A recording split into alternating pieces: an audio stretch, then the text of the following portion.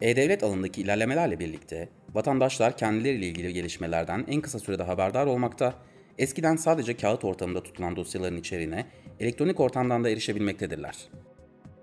Sigorta Bilgi ve Gözetim Merkezi tarafından E-Devlet kapısı üzerinde sunulan trafik poliçe sorgulama hizmeti ile Türkiye dahilinde hizmet veren tüm sigorta firmalarınca adınıza oluşturulmuş trafik poliçeleri ile ilgili detaylı bilgi alabilirsiniz.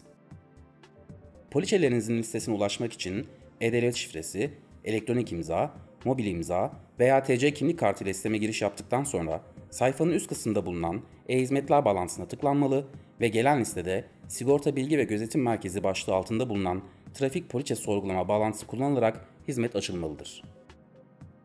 Karşınıza gelen ekrana sorgulamak istediğiniz aracın plaka numarasını giriniz ve sorgula düğmesine basarak bir sonraki aşamaya geçiniz. Bu aşamada aracınıza ait tüm trafik poliçeleri listelenecektir. Karşınıza gelen tabloda sigorta şirketi, poliçe numarası, başlangıç tarihi ve bitiş tarihi gibi bilgileri görebilirsiniz. Eğer dilerseniz detaylı bilgi bağlantısını kullanarak sigorta poliçeniz ile ilgili ayrıntılı bilgilere ulaşabilirsiniz.